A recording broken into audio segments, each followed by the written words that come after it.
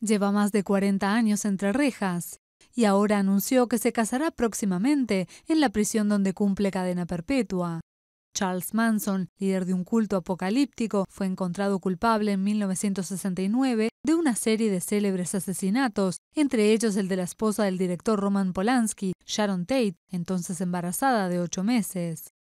Ahora el Departamento de Prisiones de California confirmó que obtuvo una licencia de matrimonio, aunque la fecha no ha sido fijada.